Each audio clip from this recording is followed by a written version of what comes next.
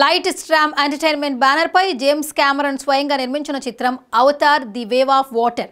రెండు వేల తొమ్మిదిలో వచ్చిన అవతార్కు సీక్వెల్గా ఈ చిత్రం రూపొందించింది. ఈ సినిమాను రెండు వేల ఇరవైలో రిలీజ్ చేయాలని భావించారు. కానీ కోవిడ్ పరిస్థితుల కారణంగా అనేక మార్లు వాయిదా పడుతూ వచ్చింది. అయితే ఎట్టకేలకు ఈ సినిమా డిసెంబర్ పదహారవ తేదీన ప్రేక్షకుల ముందుకు తీసుకొచ్చేందుకు ప్లాన్ చేశారు. ఈ క్రమంలో అవతార్ టూ సినిమా ట్రైలర్ను రిలీజ్ చేశారు.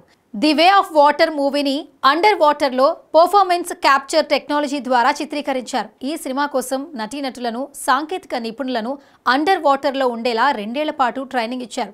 ఈ సినిమాను అమెరికాలోని కాలిఫోర్నియాలో మాన్ హటన్ బీచ్లో షూటింగ్ చేసినట్లుగా మొదలుపెట్టారు. అవతార్ టూ సినిమా రిలీజ్కు ప్రమోషన్స్లో భాగంగా ట్రైలర్ను రిలీజ్ చేశారు. ట్రైలర్లో మా వద్దకు నువ్వు ఎందుకు వచ్చావు? అంటూ టోనో వరి ప్రశ్నిస్తే నా ఫ్యామిలీ రక్షించుకోవడానికి అంటూ Jake సల్లి సమాధానమిచ్చారు.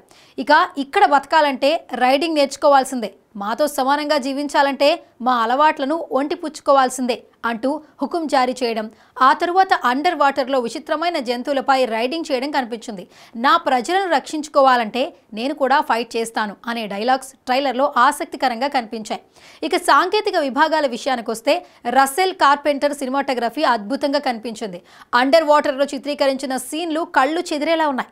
Five Maan Franklin music చాలా బాగుంది. సన్నివేశాలను ఫీల్ గుడ్గా మార్చడంలో మ్యూజిక్ ప్రధాన పాత్ర పోషించిందనే విషయాన్ని ట్రైలర్ చూస్తే స్పష్టమవుతోంది.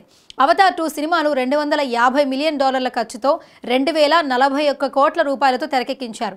అవతార్ టూ సీక్వెల్ తరువాత అవతార్ త్రీ రెండు వేల ఇరవై నాలుగు డిసెంబర్ ఇరవైన అవతార్ ఫోర్ డిసెంబర్ పద్దెనిమిది రెండు వేల ఇరవై ఆరున Avatar five December twenty two రెండు వేల ఇరవై ఎనిమిది తేదీన రిలీజ్కు సిద్ధం చేశారు.